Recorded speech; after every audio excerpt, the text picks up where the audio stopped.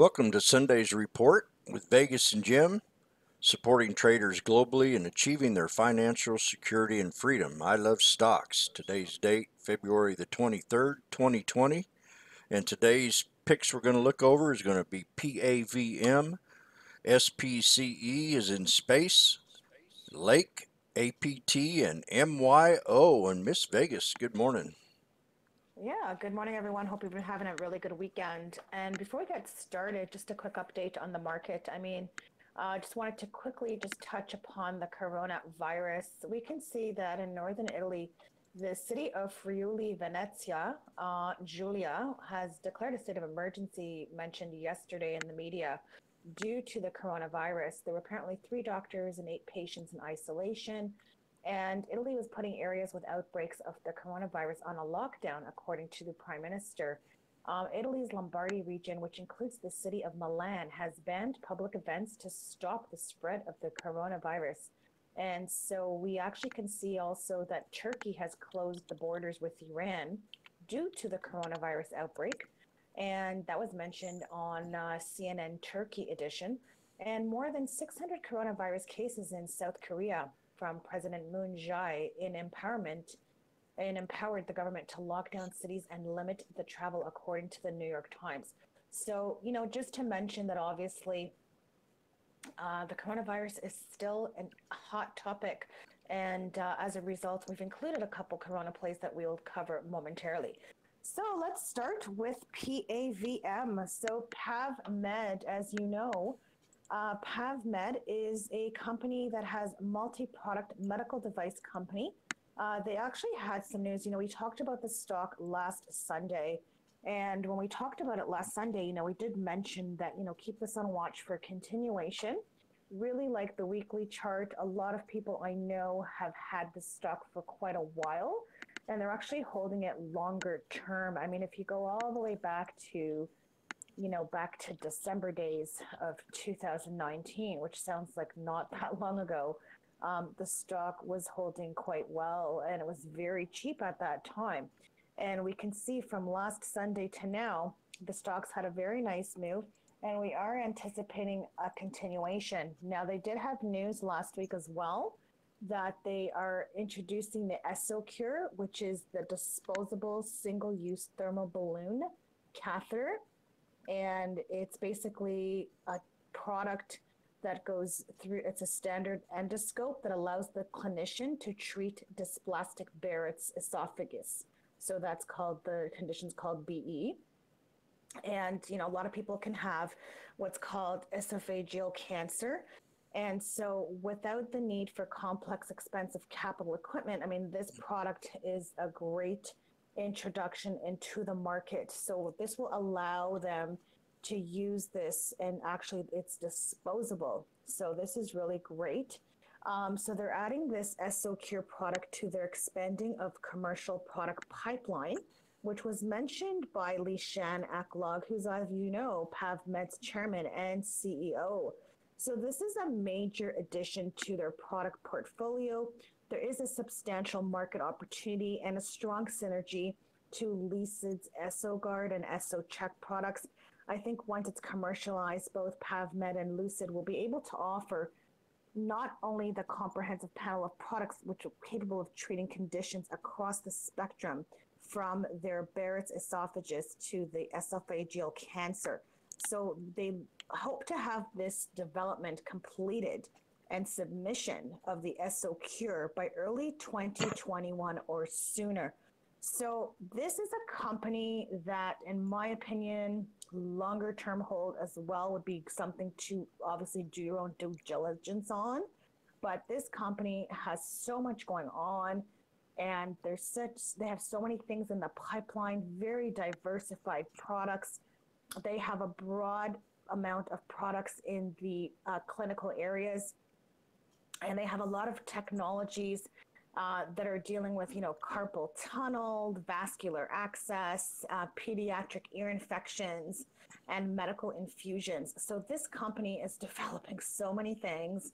And I think this is something that uh, longer term, you know, could be something a lot of you may be interested to hold because I think there's going to be a lot of growth with this company who knows if down the road this could be a future merger acquisition or you know what more partnerships could come. And you know this company is located in new york right right at one grand central place.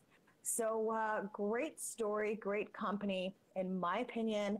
Uh, one to definitely watch and keep and keep a close eye on. And maybe you know if there's any pullback opportunities if you're not in this trade and, or thinking about it for a longer term hold you know, maybe wait for this to pull back and then, you know, start taking a starter position. And, you know, if you like the stock and if you like your own due diligence that you should be doing. So, Jim, over to you to talk about this chart because I really like the action that we've been seeing. Hasn't exploded just yet, but it's moving at a very nice pace. I don't know about an explosion. We down here at 81, and then we had that pennant flag here at 140 about oh six, seven days ago. So yeah, we've we've had a pretty good explosion from 140 all the way up to around 314.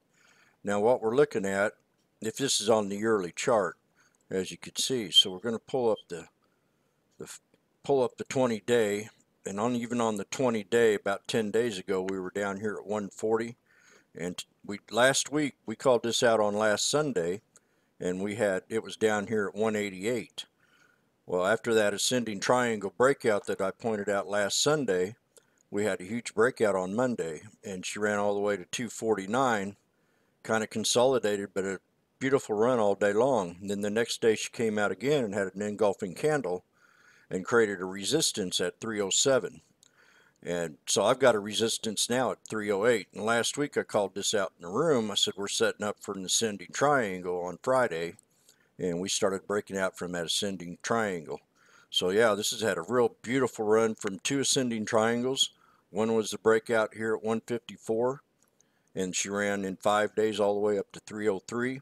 Then last week on Tuesday, she pulled back a little bit and then started creating an ascending triangle on the 20 day here. Actually, it's a better look on the five day, five minute. So yeah, this is a, just a beautiful setup for a breakout. And right when I called it, I said, we're getting ready to squeeze. And I timed it within a minute and a half. I said, we're going to break out. And then right into close, we had a high up to right around the 314 area. And then into after hours, she created new highs around 319. So I'm very bullish on this trade. Uh, low support, if it does decide to pull back, which I can't see it doing, it might just continue with this trend line right here to the ascending triangle so we'll expose that turn that on. And that right now is leading up to that first support area. And that first support is going to be right here at 289 so let's mark that into a red line. Pay real attention real good attention to this next week. Because I think we can have another good breakout another week-long breakout on it. And we might get up to higher highs. But that first support level is going to be 289 the second one's going to be right here at 272 and then the low support. I don't want to see it break trend, but it can on that first day maybe and start creating a new ascending triangle. But we need to break the, and that's going to be at 249. That's going to be your low, low, low, strong buy. That was the old ascending triangle breakout that we had on um, Monday. So if we can break that, and we can break up the 307, your first support is going to be that 289 and resistance that we need to break is going to be that 319 and I wish you very good luck on this trade PAVM really bullish on it. Sending triangle I mean it's a beautiful chart. This is probably one of the prettiest charts I've seen in a while. As in consolidation and we had a triple top breakout last week so yeah I'm still bullish on it. And the next one we're going to talk about is going to be a very popular. I did some videos on it and I've called it a bullish bear trade of the year, and that's going to be Space, SPCE. Okay, well, Space is just Virgin Galactic Holdings. Uh, last week had a very nice run. I mean, it ran, uh, you know, all the way from the open on Monday, $32.17, had a high of day on uh, Thursday all the way to 42.49. I mean, this had a really nice short squeeze there, and there's a lot of shorts on this one too. I mean, if you look at the volume on Thursday and also on Tuesday, I mean, Thursday alone was the highest I've seen in a long time. Over 135 million shares traded. So, I mean, that is just massive, massive trading happening there. Um, so definitely keep this on watch. It still has a lot of shorts in here. It has pulled back. You know, it closed to 33.87, so it's down practically $10 a share from Thursday's high. So, you know, definitely let's hear what Jim has to say about this chart because this could be an opportunity uh, for a reversal and maybe have another short squeeze. So, Jim, let's hear about these uh, Virgin Galactic Holdings. And by the way, has earnings this week. Earnings report. So I don't think we'll see earnings, but uh, we'll see what they're going to say at the earnings call. So, Jim, let's hear about this uh, SPCE. Yeah, this is a specula- speculative trade. It's not. It's more of a technical trade for right now. But uh, earnings is, is going to be. They're going to tell you they probably sold 600 tickets or more, and and they're going to just going to talk about the future guidance of when they're probably going to start shipping it up to space and stuff. So it's not going to be a real good earnings report, but it, it's going to be one that that is going to be hot for this coming year. Maybe if we can still keep the momentum up with it. And I know that there's a lot of bulls still holding this long, and I know that there's some bears trading it too that are still bullish on the trade itself, but they're just going to take advantage of the uh, pullback on it and that's kind of what they did on on Thursday and Friday. We did hit a high up there, a double top. It just couldn't break it. It created a lower high, so it pulled back. But a lot of traders were expecting it to get down to 30, and it just didn't do that. It kind of held its own. Um, there wasn't really, you know, I was I was watching the tape all day, and it was just little bitty pullbacks. As you can see, we do have a descending pattern, and it kind of pulled right back here to a support level. And I'm going to put that right there, right around the 3310 mark. That's going to be probably our first little support level. And we do have a couple real low supports on this thing if it decides to pull back. I know some of the uh, bears were looking for 28 on it Friday and just didn't get down there. They wanted it to get down to 30 and it couldn't even do that. And that's where I have a trend line at is at $30. The next one's going to be right here where it consolidated right here, right around the 20 six, I'm going to say 2680. So that would be a real strong buy off that 200 on a 20 day, one hour chart at 2737. So we have three low supports. If it does decide to pull back, I think, you know, I'm like I said, this is a bullish, bearish trade right now. You just kind of have to follow the trend, and the trend will tell you which way to play it. We've had a wonderful run, though, from this 20 day down here at this 200 here back on a um, 127 where it was at 1551 all the way up to 42.49. This is probably one of the most popular stocks that been talked about on in social media. So if we can go up, your first resistance is going to be a hard resistance, and that's going to be there at 35.65. Then your second one's going to be that 37.66, and then they just keep going on up. And you can stop this video at any time. Right now we're at 33.22 after hours. The pullback could be right to 30 bucks and you might see a reversal off that 30 back up to that 33.10 to resistance. Every resistance that I break becomes a support. So always remember that. We've got three supports that carry on down that. Some have a target here right around the 28 area. And I'm going to go ahead and draw me a little trend line right there. You can see we had that engulfing candle into close and then she had another little breakout up into the highs after hours. So those are going to be my support levels. We'll stop here right at the pivot point so far, and I think that could be a beginning of a channel at 3310 with your first support right around 30, your second one at 2865 and 2680. And if we can keep it above that 200, we'll be doing good. If not, it'll pull back to these other two real low supports and these are going to be real strong buys. Now this is space. Remember, this is a bullish bearish trade on technicals. Not really much as fundamentals, but it uh, it is one that's kind of like Tesla in a way. It's uh, um, what do you call Miss Vegas? Uh, in, innovative. You know, it has. It, yeah, it's very. I mean, it has a lot of innovation. I mean, people just like really the story about space and, and, and what it can what it has what the future can hold. Yeah. And this is why there's probably a lot of hype, you know, on this right now. Um, and also there's a lot of, you know, analysts talking about it too. And so it has a lot of social media exposure. So it's getting people excited. I yeah. think about the opportunity that the stock, I mean, like you said, you know, the stock was under you know under 10 bucks Yeah. so and look where it is now i Yep. mean i remember when it was like i recall this back in december seven dollars Yep. we were buying contracts for ten dollars strike for january Yep. Yeah, sure was. Oh, man, I wish I'd have held that stronger. I could have really made some fairly good money on that. Now, this next some next few we're going to talk about is going to deal with the coronavirus. This is a John Hopkins case study right here that says there's been 78,000, almost 79,000 confirmed with total deaths of 2,466 with a total recovery rate of 23,386. And always remember, I don't think we're being told everything that we need to know, but the next one we're going to talk about is going to be Lake. Miss Vegas. Okay, so Lake is Lakeland, and we've talked about this one too, and I'm bringing it up again because of the corona the, the news, you know, in the last 48 hours, really, about what's happening in Italy and what's happening also with the um, with the borders being closed. Uh, as well between Turkey and Iran. So Turkey closed their border. They just don't want the virus coming through. So, um, you know, countries are just, you know, protecting themselves. So, you know, Lake, which is called Lakeland, uh, the actual company, as you know, has the, they make the mask, they make the clothing, they make rainwear, they make protective clothing, hand and arm protection. I mean, they have like a vast amount of products, but this is one of the ones, one of my favorite ones when the coronavirus is highly talked about.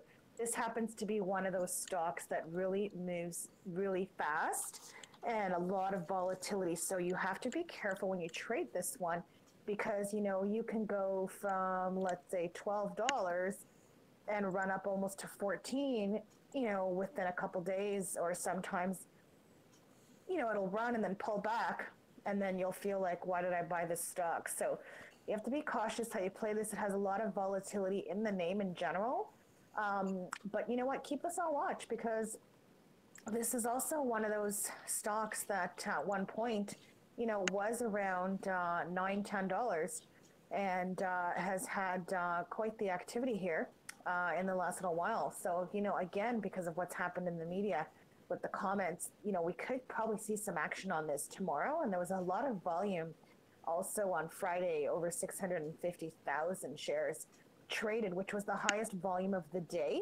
So it could also be a lot of people bought stock on friday you know swinging it into the weekend because you know they kept hearing that the coronavirus is still big news. And so you know could there be some action you know tomorrow? I think this will have a volume surge tomorrow as well. Um, that's just my thoughts but jim let's hear your thoughts on those charts with lake. You can tell when stock broke out. We had a little breakout back here on uh, on 121.20. About the time the coronavirus started getting to be known in the news, we broke resistance of 1289. So that now becomes a solid support level for any low 1289 and we did pull back below that last week and created a support right around the $12 area. So we're going to draw a red line on that $12 and that's where we had this previous peak up here between 12 1216 so let's make that into a red line. So that'll be a solid strong buy in that area. And we're going to kind of just go ahead and draw a little well we'll bring it up to the 20 day now. Kind of get a clue here. We're going to fill this little channel in. Oh there we go. Kind of right down here between 12 and 1216 that's going to be kind of your first little low support. Your second channel of support is going to be this 1274 to 1289. And actually, your first support is going to be right here at 1321. Now, I'm going to pull up the five day and show you what the five day looks. I noticed something kind of nice on the five day is this little trend line. We're going to draw a trend line all the way up for a support area off the bottom that we had down here at 11 well not 1180 but right in here right around that $12 area. We're going to draw a trend line all the way up to here. So that 1350 looks like a pretty good little support level. As you see we did have a resistance right here. It pulled back hit that 34 and ran up and created a new high on Friday at 1389 so that's going to be our resistance to resistance to break. Let's make that 1389 a strong resistance and let's make this $13 area right here where that trend line is 1349 somewhere a solid support level.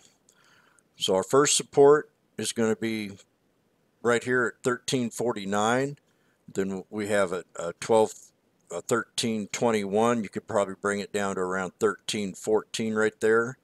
So that's going to be your your solid first well you know the pivot point at 1349 we need to hold.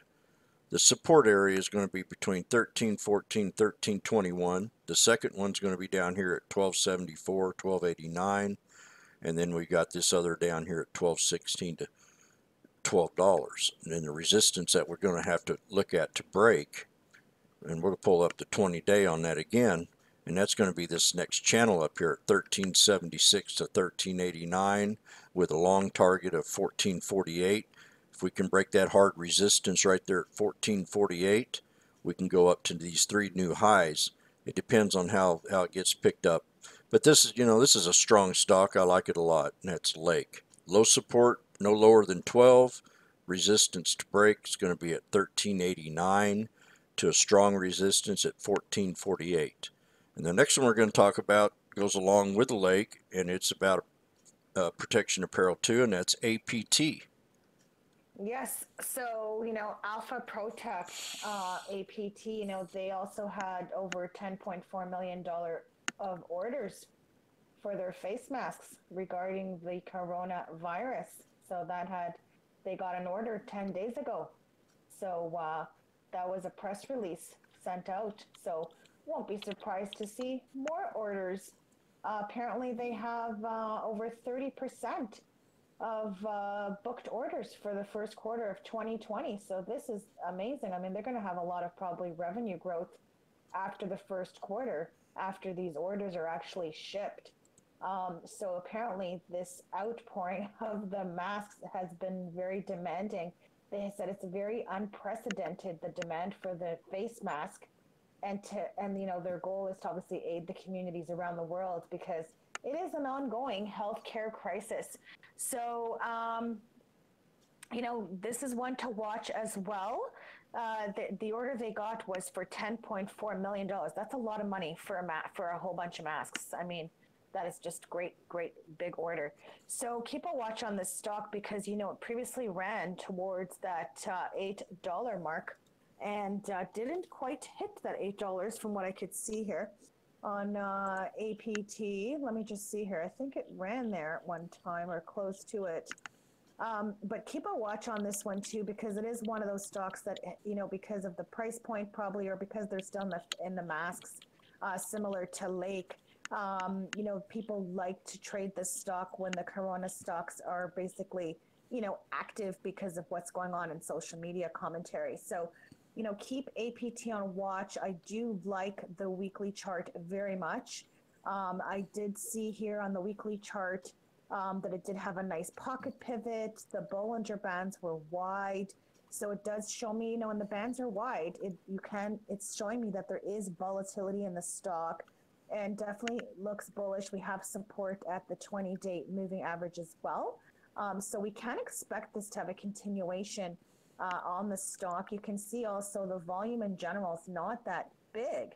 Um, but uh, on Friday, if you similar to Lake, I mean Thursday was a much bigger volume day. Um, the stock had about seventy five thousand, so it is kind of you know, in my opinion. Uh, hold on a second, I think I have the wrong uh, chart here. Oh yeah, so you can see Friday. Sorry, I was looking at AP instead of APT, but this one here had uh, APT over 3 million shares traded uh, on Friday. So, you know, a lot of people, I'm thinking for sure swing traded this stock because if you look at the weekly chart, it's got a very nice setup. So, I'd like to see this break $6 and then break the previous resistance that I saw there at $6.90. And then if we can break the 6 and 690, I mean, I'd love to see this go to even $8. So let's hear what uh, Washboard Jim, the chartist, has to say about APT because not your apartment, but it is certainly the uh, Alpha Pro Tech. Let's hear about Alpha Pro. Yeah, we need all the protection we can get. Um, I own a janitorial service, so I'm I'm putting on hazmat suits more or less when I clean every day, just to never take that chance. But here we are at 320. We got a low down here right at 320 for the year, and we had to have a resistance to break right around, you know, more or less most of the year was at 380. But we have had something interesting that's happened in the past five days, and it kind of noteworthy. Um, first, I'm going to pull up to 20. We did have a yearly high of 786. So we go straight to the 20 day one hour. Does anybody see a pattern on this out there? In, I'm going to go ahead and draw it up for you. We're going to go ahead and show you what a descending pattern is. It did kind of pull back all year, all week. Whoops. Got to bring that back to the full diagram, but I'm going to put a little line right here at the 863 level, where we had the high on Monday, last, oh, what day was that? That was on the, uh, on, where's my day? I can't find it up there. Hmm. Well, we'll go ahead and pull it on back. But we've had them previous highs right here. And I'm going to go ahead and draw it to that wick right there at 393. And then we had the flat bottom support up here at 3, 482, 483. So that's going to be a solid support. We'll call that number 3. And we're going to go ahead and draw that in a red line so I can remember that on Monday. That's going to be your solid little support area. And that price right there is at 482. So no lower than 482. You got your second support here at 581 or 531 and then you got 573 with a resistance to break here at 610. If we can break past that 610 level, we've got a couple more resistance channels, but along at 685. The 685 had an ascending triangle. As you can see, the lows right here, and then the higher lows, and then we had this flat line here with a triple top breakout at 685. So that's going to be your hard resistance to break. I think we can do that if we can get back up there, but that's going to be a solid resistance. If it starts to fail and pull back, it could be a good place to take profit. Maybe get back in at a lower support level here at 633. If not, she'll break that 685 and move on to, to newer highs and maybe get on that 20-day double top, which won't be 20 days much more, but 848 uh, is going to be our hard resistance. And that's going to be the hard one to break. Low support down here at 482 Resistance to break is going to be, like I said, if we can break this 573, if we can break that, we'll move up to 685, and it's going to be a nice trade. And we do have a descending pattern that looks to me like a little reversal in the last two days. And maybe this news over the weekend with some of the spread. I think some of it spread in Japan, and, and they were talking about another place too that that might have had more than unusual volume. So if we can break this trend line, you know, it's coming down. That's going to be like a new little sub resistance. It's 593, but the strong one's going to be that 610, and that's APT. And then we've got one more for you. Don't put too much mayo on your sandwich. This is MYO. Yeah, so uh, Myomo, you know, they're into the medical robotics. I really like uh, medical robotics company. Um, they're in Massachusetts, and uh, what they do is they offer mobility products from people that suffer with neurological disorders and also the upper limb paralysis. So they have a lot of patented technology, by the way, which was developed at MIT and also Harvard Medical School. And so they have a lot of uh, product lines um, that are also lightweight, non invasive, and they have a powered arm brace that helps to restore function for people that have um, par- uh, paralyzed or weakness in their arms and hands or you know people that have even suffered a stroke or a spinal cord or nerve injury uh, they have like phenomenal phenomenal products to help you know people you know to make their try to you know put their life back in order and not make things uh, as difficult as it already is. So, you know, I really like what this stock is doing. Um, if you actually take a look at the chart, and Jim will talk more about it momentarily, but this MYO um, definitely looks to me that it wants to have another move. Uh, it had a lot of the volatility was contracting It had also an inside day on Friday, and it definitely looks bullish and looks like it wants to go again. So definitely keep MYO on your watch list, uh, potentially for a swing trade or day trade continuation next week. We can see here it closed around 687. Uh, the volume, you know, was around 417,000, but nevertheless, you know, we had a big volume surge actually last Wednesday. You saw the stock went all the way to 889. Uh, it's too bad it didn't break that nine. And if you actually look at the stock, um, you know, it has good volume in general. So keep this on watch because it looks like it wants to go again. So keep MYO on that watch list. Jim, let's hear about MYO.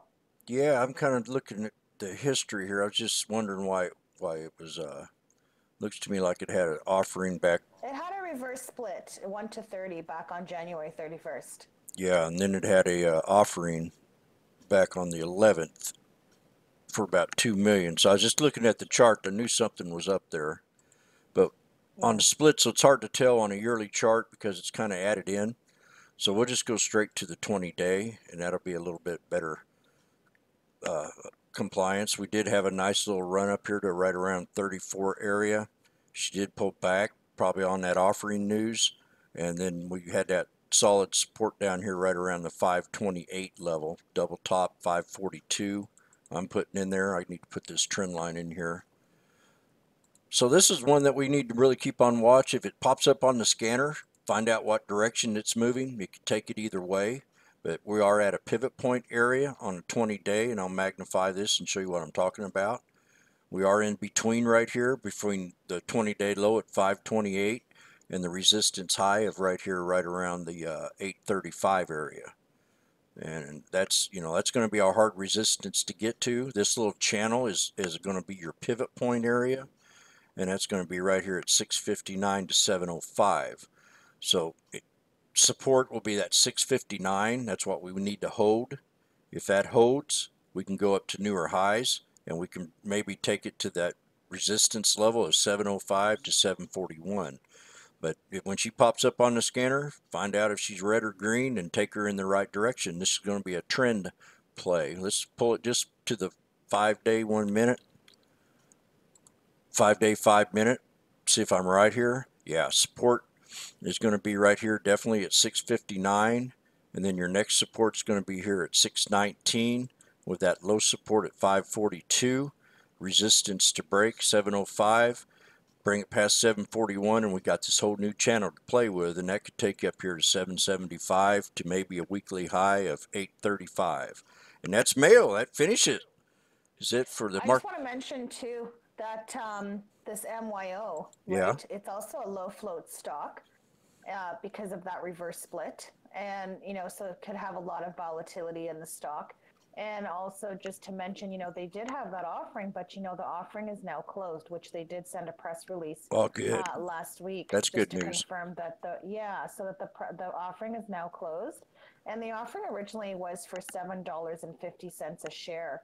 So if you actually look at the price of the stock, it's under that offering price as well. So um, I think definitely this has an opportunity for some potential activity this week. So definitely keep it on watch for sure. Yeah, that br- And a low floater. yeah, that'd bring it to that 741 resistance, right pretty much at 750. So that'd be a good target. Well, that's it. M- Yeah. Miss Vegas, you have anything else you'd like to mention before we close this down? Well, uh, just going to mention um, that I will be doing a separate video on the options. So I will be putting out a video later today on some option ideas and also reviewing the option trades from Friday. We had a fantastic day trading options.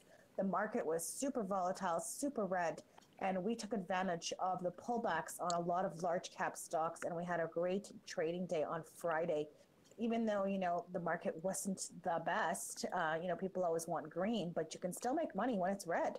So um, i will be sending out a video later today. Also if you want to subscribe to our newsletter please go to the website iluvstocks.com and just enter your email and then you'll get a notification to your inbox confirming you want a subscription and then you can decide to accept the confirmation, and uh, you'll get a newsletter as well later today.